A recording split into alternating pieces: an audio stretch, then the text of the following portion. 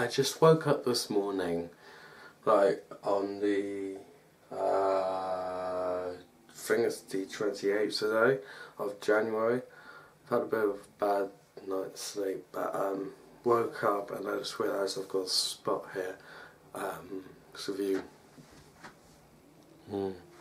I'm to sound like it. Welcome to Let's Talk SAD,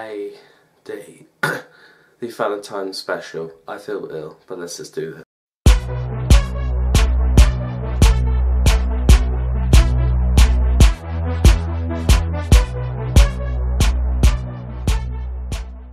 Mainly, I've only got stuff for singing and acting. I've got nothing for dancing. Well, I did, but then I realised this will be posted on a Saturday after February the 3rd and the 4th.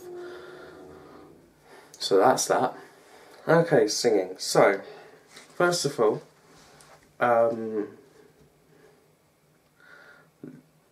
got some tour dates here. Luke, Lukas Graham, uh, the artist who made the Seven Years track, will be on tour between the 26th of February to the 7th of March.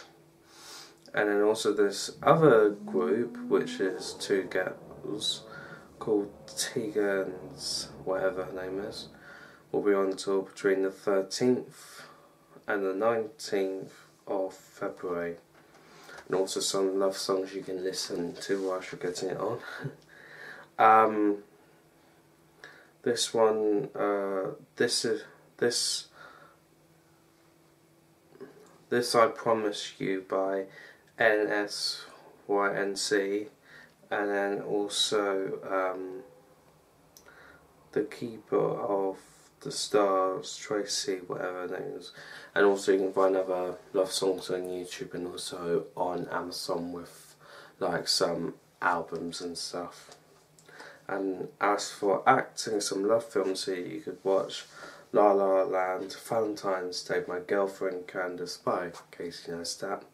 And also 50 Shades of Darker and Grey, so like the first and second one.